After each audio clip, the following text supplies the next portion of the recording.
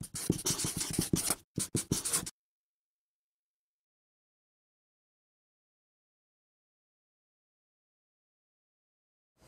welcome back everyone. Just uh, just looking at my uh, in the grow room and seeing what's what's going on down there. Uh, I was noticing that the amaryllis that we put down uh, for its winter's nap, or for its its its dormancy period, winter's nap, it's still middle of winter. Um, they they started showing signs of life. So I wanted to show you what they look like and and how I know that they're ready to come out of their dormancy.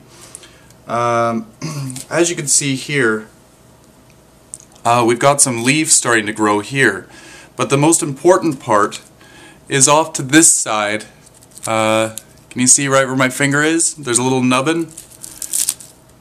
This is the flower bud right here. So this this flower's set and it's starting to come up. Um, this one here, you can see the flower bud started there. The flower bud is a, is a fat um, it looks like a leaf in the beginning, but it usually comes from an opposite side to where the leaves are coming from. So, for instance, on this one here, the flower bud will probably come from either this side or farther off to this side. Um, so that, that's how you know that they're ready to go. Um, what I like to do with mine when they come out of their dormant period is, uh, well here, taken this one out of the soil so that we can I can show you how to plant them. Um, notice how there's a lot of dead uh, dead leaves. I uh, I clean off the bulb at this at this stage. I don't need all of this extra stuff. And also, if you keep this uh, this dead uh, material around here, uh, it can cause the bulb to rot because the moisture will stay in this dead material and stay near the bulb for too long and it can cause it to rot. Not saying it will, but it can. So you want to get rid of as much of this dead material as possible. Do do do. Also dead leaf material from uh, before it was dormant. I don't see any growth on this one. This one could probably stay a little dormant for uh, for a little bit longer, but I'm bringing everything out all at once. I have many amaryllis bulbs so uh, if a couple of them don't flower I'm not going to uh, not going to be sad and notice here this one's starting to produce, produce a little baby so in a couple of years we'll be able to take this off and uh, it will uh, flower all on its own I don't recommend taking them off until they're almost the size of the parent uh, you can they will grow but they're just not going to flower for you for a number of years so let them uh, live off the parent and, and uh, get as much nutrients as it can before it gets separated. It's tough to get this skin off. Alright. I'll do the same thing for this one. These ones here I'm not going to repot. I just I left them uh, in their location and, and uh, next year I might transplant them. Just want to clean them up just a little bit.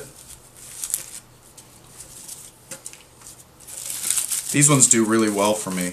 Um, one of them, I'm not sure which one it is, is my, um, it's called a uh, Black Pearl. And it's, uh, it's beautiful. It's got a really, really deep, deep, deep red. Um, it, it's producing babies. I think actually this is the one. So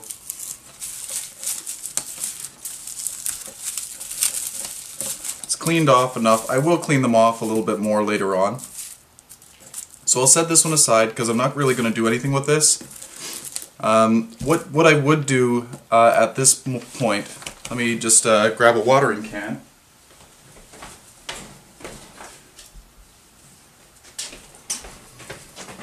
In order to activate good growth you want to give it a, a drink. You don't want to give it too much because the plant is still kind of dormant. So you just want to dampen the soil. If you water it too much in this state, the roots really aren't developing at this point. So um, it would just be sitting in water and not using the water. So it would it would uh, almost definitely rot the bulb. So at this stage, just just a light water, just to to moisten it and, and give it a little bit of life. And then once you see the leaves start to grow, uh, even during the flowering period, you don't want to water, you want to keep it on, on the dry side, only watering when the soil becomes dry. Uh, but once you see the leaves start to actively grow, like when the leaves get to be about 4 inches tall, um, that's when I would start actively watering it. And they do like to be uh, uh, constantly moist. They do like the liquid. So here with this amaryllis, let's do a, a planting uh, um, video. We're going to add a little bit of soil to the bottom. I have drainage stones, just some little pebbles like aquarium stone in the bottom. I'm going to add some, uh, some soil there. And uh, these roots are all beautiful. These roots don't look like they died over dormancy at all. If I found any brown dead ones, I would have uh, removed those, but these are all looking quite nice. Very healthy. So we're just going to put them down there. We want to make sure that the top one-third or half of the bulb is exposed. So we'll just add some soil around in here. It's very dry soil. Pat it down with your fingers. Make sure it gets in all the nooks and crannies.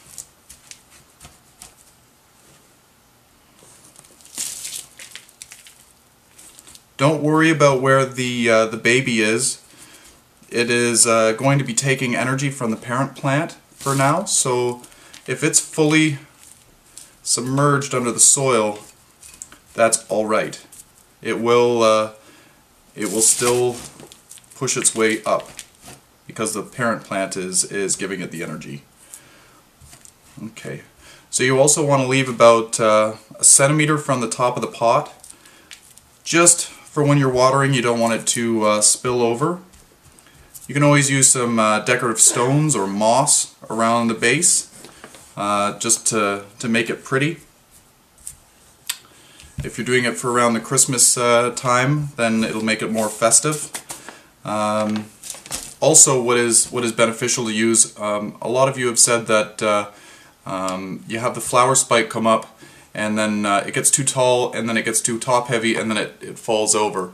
Well that's that's very common with amaryllis if they're not given enough light um, for the flower spike.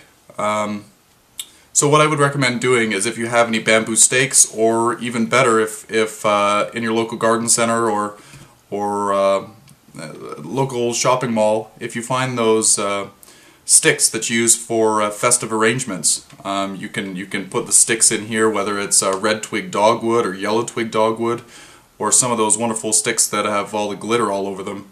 Um, you can use that as a showpiece and just uh, stick them in around the bulb, and then as the flower grows up, it will rest. It'll rest against the uh, the sides of the sticks and uh, give your plant some extra support.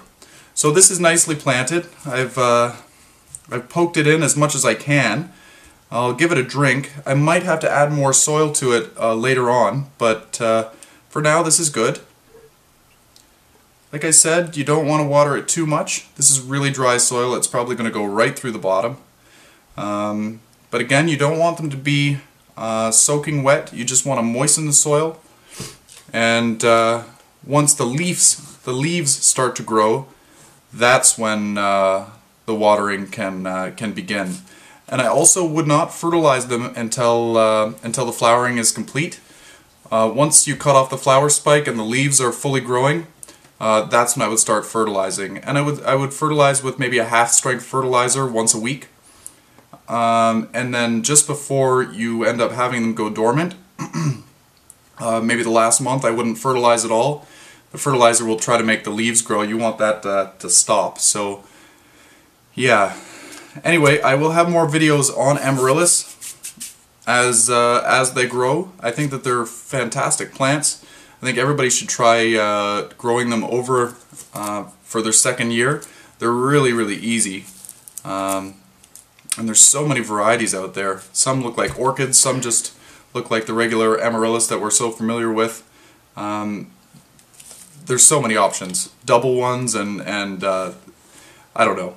So much to choose from. Anyway, enjoy and uh, send me some uh, uh, pictures of your amaryllis. I'm sure that uh, over the holidays you've had some beautiful ones. I'd love to see them on my Facebook page. And uh, yeah, happy growing.